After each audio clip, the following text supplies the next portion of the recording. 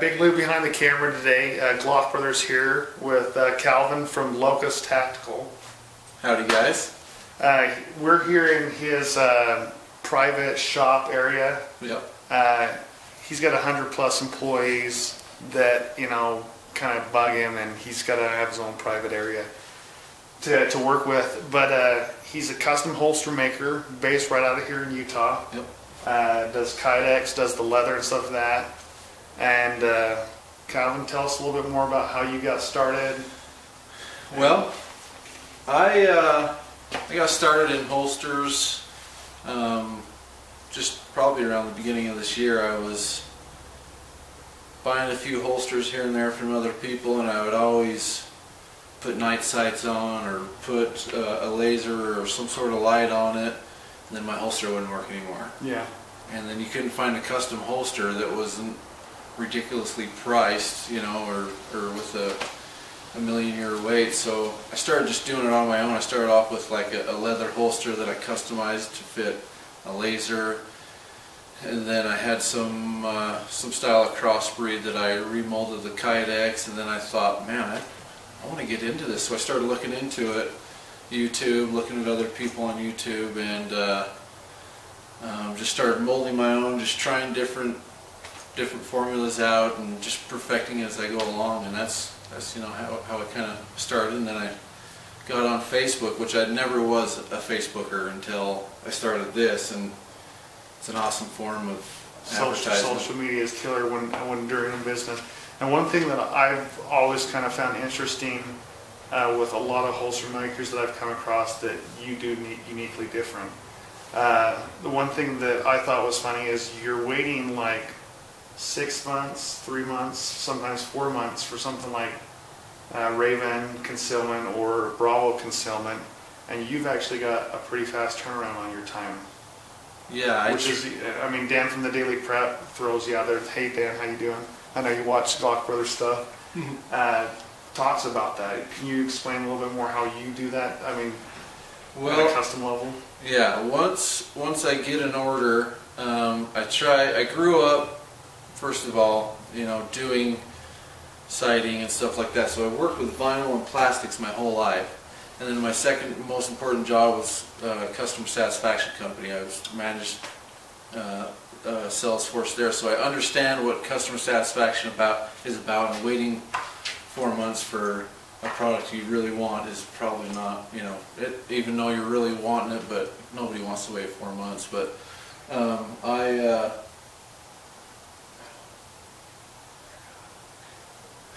That's all right. Okay. We, we can have your pauses and some of that. okay. What was I saying?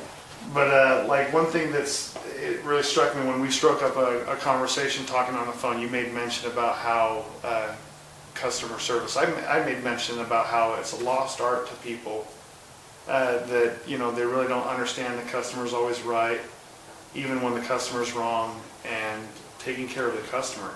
Yeah. I mean that's why people do repeat business. That's you know better word of mouth for you rather than getting Yeah. worse. and, and along my along those lines, what I was trying to say, and I forgot, was I, I walk everybody through the process. Okay. I, uh, and I always want it to stay that way. If I get to this point, you're going to get a picture saying, "Here you go, man. Here's here's your holster so far. Or, Here you go. Here's your holster so far." Or, you know, even if it's at that point or, or that point, they're always going to get an update. And as I get bigger, I'm going to assign reps to each person. I don't want to give out too many of my secrets, but Oh, I don't blame you. I don't blame but you. as as I get bigger, I want each each individual holster builder to be assigned someone as they come in, and then that way they can have their own people to to walk them through the steps. Because a lot of people want updates, or you know they want to be involved and they want to be a part of something. So that's you know that's their feel. It's how we make them feel important and say, Well, hey, that's good this is feedback your-" because nobody, nobody's doing that. Yeah. Uh, at least from what I've seen on the, the out there with the custom holsters and stuff like that, there's not a whole lot of, hey, here's where I'm at with it. Here's what's going on. You know, I want to take care of you. This is where I'm, I'm at with this. Or, and uh, you're updating people about the problem. So we'll have Big Lou here cut the camera in just a second, and then we'll have some up close, and we'll get some pictures of Yeah. that for sure. Thanks. Yeah, here's an up close of a few things. Um, rinky dink knife I've been working on perfecting those. Uh, you can see that nice shiny edge right there. Um, And that's actually a pretty good, that, that as a process to the, with Kydex because as you're sanding it, you're getting burrs and stuff like that, right? yeah, I go through a pretty, actually pretty lengthy process. Some people don't like using a Dremel or say you can't get smooth lines, but I do a few things that a lot of people don't like to do to take the time. And this is part of the custom customization of things. I'll I'll round off and do a few things, but then I always buff it out with that or the sisal wheel or some of the other buffing things I have in here, and then I also um, do a wet sand with it. So Nice. you get, and then I'll, I'll use the uh, buffer.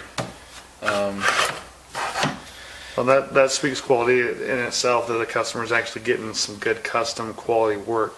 That uh, a lot of the bigger stuff, like Raven and Bravo, they're just punching them out.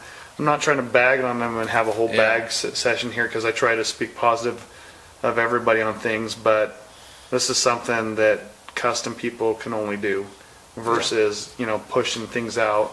The only t- other way to go with precision is going with injection molded, but that takes time mm-hmm. to even get that holster. That's a good point because you know when when you come to custom stuff, and a lot of reasons why people like me, you know, I, a lot of the custom guys they have three or four things, which I do too, three or four holsters that they all work off of. But I, I tell everybody here's here's the style that you can choose from, but tell me what you want different. You know, to you know, do you want cut out a little bit more added on? Um, you know, here's one that I messed up on that. Uh, didn't get shipped out. So I, I take really, I mean, that's that's a lot of work to get that far. And I was heating it up to uh, fix a few things. As you can see, it's really shiny, got some dings. So that baby's gonna get given to somebody or just be there for a, a good reminder. But you know, we've There you a- go, or a, a giveaway maybe, or something. yeah, giveaway, giveaway. Uh, I've done a couple giveaways so far. I've done. Uh, Nice. Glock 19 or 26 giveaway, and then a, a couple PMAG giveaways, just single PMAG, which I've got one coming up a giveaway. Nice. Anyway, there's a carbon fiber uh, 1911. Again, I like to have the you know follow the curvature of the gun, so when it sits in there, it matches up perfectly. You know, when you look at it when it's off, it's kind of kind of funky, but once you realize what it does, looks I think it looks pretty good. But I, I Um, like the carbon fiber myself. I'm probably more of a coyote tan guy, but I know that carbon fiber is actually pretty cool looking. yeah, I am definitely a, a coyote tan guy. A lot of people order this. It's been crazy, which is, and I tell I make sure and let everybody know this is a Holstex products Okay. product, uh, which is a little bit different than Kydex. Okay. Um, so Kydex is, as you know, is durable, which Holstex is too, and Kydex has a UL rating, which it, it doesn't sustain a flame. So, um, plus you can run over these things, and this is pretty close to the same thing. I mean, if not the same thing. But here's my uh, my hybrid stealth LTH. nice. Um, I actually had it named exactly like somebody else, and uh, I didn't know it was trademark, trademark, so I had to change the name. Uh, um, so it's, you know, just learning curve. P Oh, yeah. mags. Uh, I'm doing a, a double 1911 holster for somebody here soon to match this stuff right here. Sweet. Sweet. Yeah. Very good. Uh, another thing we've been working on here is some custom drop leg uh, setups where you could have some mags, interchange it, but uh, it's kind of along the same lines of, of the, the, the costed um, drop leg, but his is all fabric. I want mine to be hopefully a little bit more durable, where you can interchange holsters and mags with the gun in the middle, or however you want to ar- ar- arrange it. And then you know you can easy strap them on, strap take them off and on, interchange them with the webbing. Same with uh, same with here. You know you can you can mount your you can mount your uh, tactical axe on here however you want. And that's a zombie tactical axe, Yeah. correct? Okay. Oh yeah, All right. Sweet. Yeah. it's the zombie killer, the M48, correct? Yeah, the M48 Ranger. It's a cheapie, but I just want Hey, it something to doesn't work matter. with. Yeah.